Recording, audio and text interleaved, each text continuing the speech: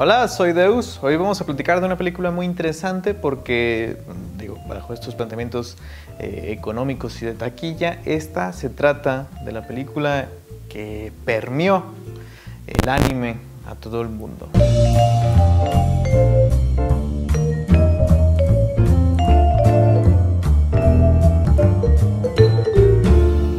Algo que uno entiende con el paso del tiempo es que Hayao Miyazaki tiene dos percepciones. La primera es que es un sujeto monstruosamente gruñón, a menudo criticando a otros artistas con un tono deprimente, que contrasta demasiado con lo que termina otorgando en sus películas, que no dejo de pensar que es bastante gracioso y muy, muy adherido a nuestras generaciones, incluyendo la eterna decepción que tiene frente a su hijo Goro Miyazaki, a quien considera un director fallido.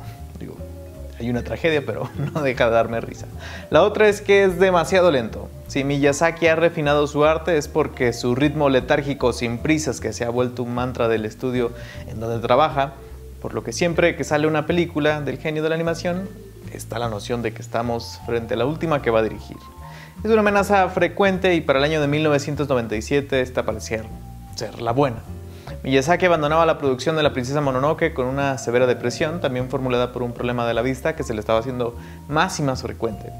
Mis ojos empeoran. Para mi siguiente película no tendría otra opción más que la de estar menos involucrado en la animación. Es una pregunta de si el staff aceptaría o no mi rol alterado como director. Puedo ver bien, pero cuando realizo animación tengo que ver excelente. Esto diría en una entrevista. El 14 de enero de 1998, Miyazaki abandonaba la dirección del estudio Ghibli y se enfocaba a animar cortos para el Museo de Este, que realizaría dentro de Butaya, un estudio muy pequeñito que construyó como casa de retiro. Pero como de costumbre, Miyazaki no cumplía esta amenaza. Un año después volvió a Ghibli con una nueva idea que se le ocurrió durante el verano pasado, en donde un grupo de amigos lo visitaban en su casa de retiro y con ellos cinco de sus hijas. Miyazaki tuvo interés en ver cómo jugaban y en lo que hacían, y una vez se puso a leer algunos mangas que las niñas llevaban para pasar el tiempo, los cuales se encontró como romances baratos que, de acuerdo a sus propias palabras, él podría mejorar.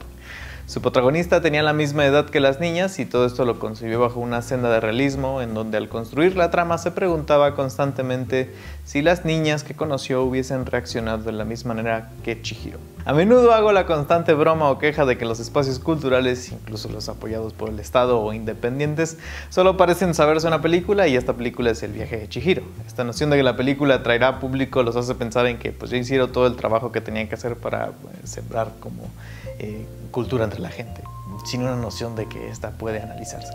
Lo cual pues creo que sí es necesario. Nunca he negado la belleza del viaje de Chihiro y me parece bastante curioso este fenómeno que tiene y por lo que es seleccionada, tanto en estos espacios como a nivel mundial, porque seamos honestos, el viaje de Chihiro tiene una virtud universal dentro de su trama frente a una protagonista con un crecimiento personal basado en la crueldad de una situación bastante rápida, de un tono telenovelesco intencionado por parte de Miyazaki, quien da una eh, función imaginativa y fugaz a su entera historia.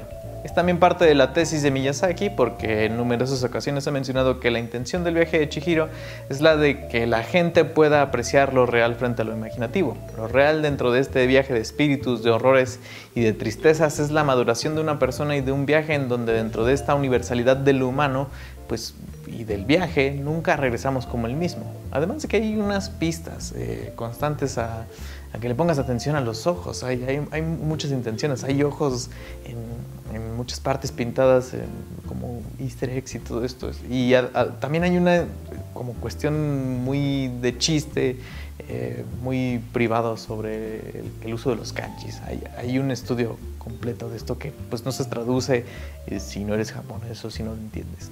Y a su vez esta universalidad que uno puede entender y apreciar en este mar de emociones, pues se encuentra en una película encriptada por la representación tanto de las influencias literarias de Miyazaki, pues obviamente está El último unicornio de Peter Spiegel, Una noche en el ferrocarril galáctico de Kenji Miyazawa, y por supuesto Alicia en el País de las Maravillas, que de hecho es muy curioso y que encuentro ahorita que ya soy adulto, que el estreno de Viaje de Chihiro ocurra en los mismos días del aniversario de la adaptación de Disney, la cual pues también tiene una fuerte influencia sobre la, animación japonesa. Esto además de su fuerte influencia mitológica y folclórica dentro de las concepciones divinas de toda Asia entera, pues de la cual eh, sí es muy curioso meterse a, investigar eh, cuántos demonios y espíritus prevalecen sobre la historia, que también es una historia sobre la lucha de clases que de manera muy literal se presenta todos estos dioses que viven en un espacio, en una torre, eh, estructurados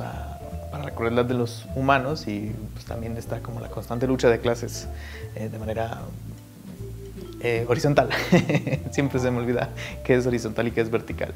El viaje de Chihiro se estrenó el 27 de julio del año 2001 y sentó precedentes insuperables dentro de Japón, sobrepasando Titanic como la película más taquillera de la historia del país y volviéndose la película más taquillera de la filmografía de Miyazaki, obteniendo a lo largo de ese año 21.4 millones de boletos vendidos con una cantidad cerca a los 30.4 billones de yenes, más o menos 300 millones de dólares.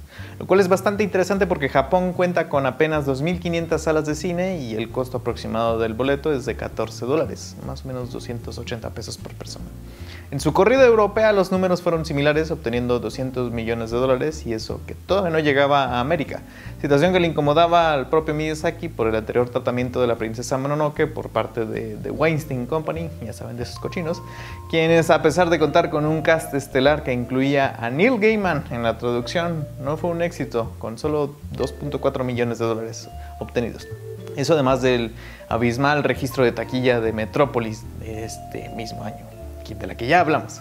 El viaje de Chihiro tuvo éxito en Estados Unidos, también en parte una campaña dirigida por Disney y John Lasseter, el director de Pixar, quien animó a respetar el sentido original del doblaje y con ello la película obtendría 10 millones en su mes de estreno, para terminar amasando 274.9 que además eh, obtenía cuando el viaje de Chihiro hacía historia en la ceremonia de los Oscars, cuando ganaba el premio a Mejor Película Animada. El único trabajo de Japón en haber obtenido este mérito. Y han pasado 20 años e incluso los números de Chihiro no, no, no han cambiado.